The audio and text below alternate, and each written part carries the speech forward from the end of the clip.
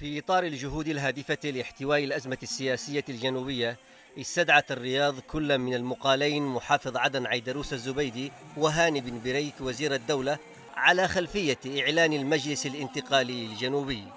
ولم تتضح بعد نتائج استدعاء رئيس المجلس الانتقالي الجنوبي عيدروس الزبيدي ونائبه بن بريك إلى الرياض لكن مصادر إعلامية خليجية أكدت وجود ضغوطات سعودية باتجاه حل المجلس الجنوبي باعتباره خروجا عن فكرة الدولة الاتحادية وتمردا عمليا على الشرعية.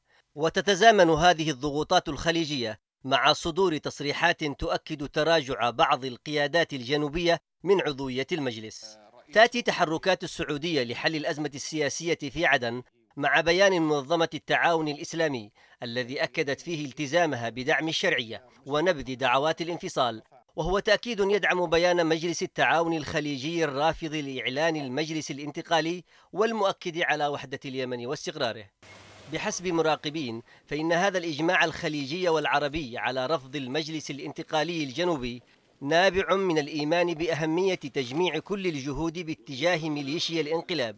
لإيقاف النفوذ الإيراني في المنطقة وهو الأمر الذي أكده وزير الخارجية عبد الملك المخلافي الذي دعا لتوحيد الجهود الوطنية من أجل هزيمة القوى الإنقلابية. توحيد الجهود المحلية والإقليمية باتجاه استكمال تحرير اليمن من ميليشيا الانقلاب واستعادة الدولة يستدعي بنظر الدبلوماسيين الوقوف ضد أي تصرف أحادي خارج أطر الشرعية كونه لا يعمل إلا على إطالة أمد الحرب وتعميق الكارثة الإنسانية.